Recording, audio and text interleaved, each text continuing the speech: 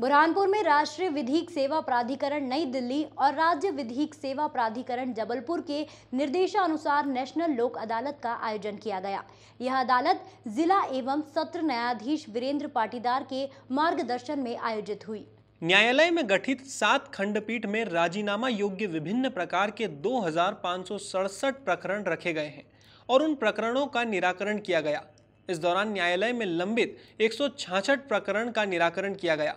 जिसमें तीन करोड़ चौरासी लाख उन्नीस हज़ार तीन सौ सत्ताईस का अवार्ड पारित किया गया। राष्ट्रीय विधिक सेवा प्राधिकरण के तत्वावधान में आज दिनांक 14 दिसंबर 2019 को जिला न्यायालय बरहानपुर में नेशनल लोक अदालत का आयोजन किया गया, जिसमें कुल सात खंडपीठों का गठन किया गया।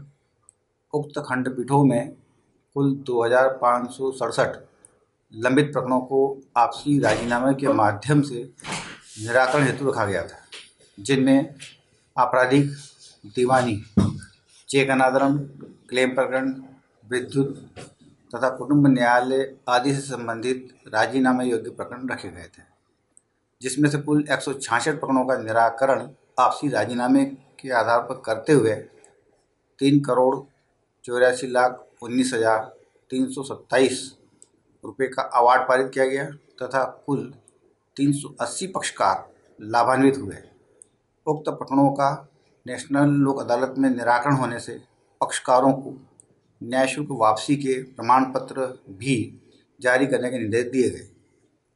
जेएसआर टाइम्स के लिए बुरहानपुर से मोसिम तड़वी की रिपोर्ट।